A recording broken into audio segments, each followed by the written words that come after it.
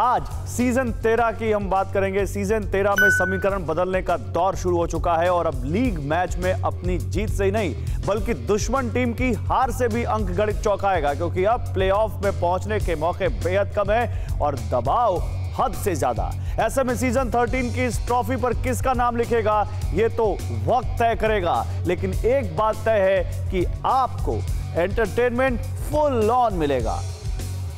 तो रेगिस्तान के महासंग्राम में सुपर हिट संडे दस्तक दे चुका है। आज एक बार फिर दर्शकों को मिलेगा एंटरटेनमेंट का डबल डोज, जहाँ दो मुकाबलों में टकराएँगी चार टीमें।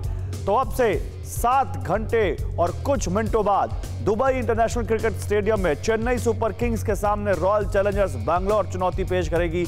एक और विराट की आरसीबी इस वक्त शानदार फॉर्म में है तो दूसरी ओर धोनी के सुपर टैट्स की टीम इस सीज़न की फिसड्डी टीम बन चुकी है। अब देखना होगा कि सीज़न 13 में ट्रॉफी जीतने का दम भर रहे विराट के खिलाफ धोनी कैसे बचाएँगे अपनी टीम की साख।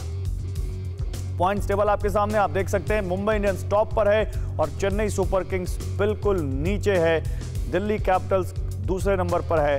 अब और अब बात आज होने वाले दूसरे मुकाबले की, अब से लगभग 11 घंटे और 45 मिनट या कुछ मिनटों बाद, अबू धाबी के शेख जाद स्टेडियम में मुंबई इंडियंस से टकराएगी राजस्थान रॉयल्स। एक और डिफेंडिंग चैंपियन मुंबई है, जो विरोधी टीम को मात देते हुए इस सीज़न में पॉइंट टेबल में टॉप पर है तो दूसरी ओर नीचे से दूसरे नंबर पर कायम राजस्थान रॉयल्स हैं। राजस्थान को अपने पिछले मैच में भी हार का सामना करना पड़ा था, ऐसे में राजस्थान के लिए मुंबई कड़ी चुनौती पेश कर सकती है। फ़िक्र आपकी, सोमवार से शुक्रवार, रात नौ बजे, सिर्फ़ टीवी 9 भारतवर्ष पर।